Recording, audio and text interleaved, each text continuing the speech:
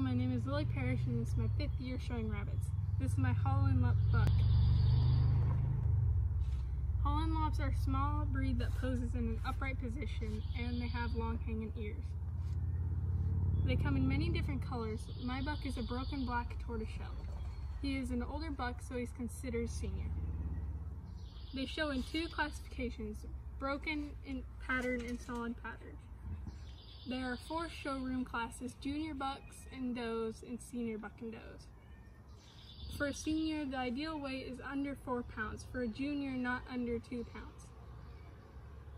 Faults could be lacking depth in the body and low, long, low, sh narrow shoulders. When judging a rabbit, you want to turn the rabbit over and examine his teeth, ears, feet, nails, and his rear end.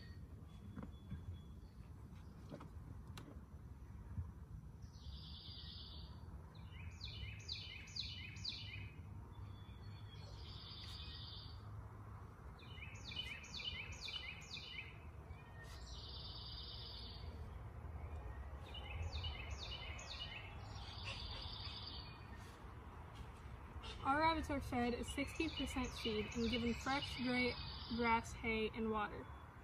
Thank you for joining me and my rabbit today and have a great day.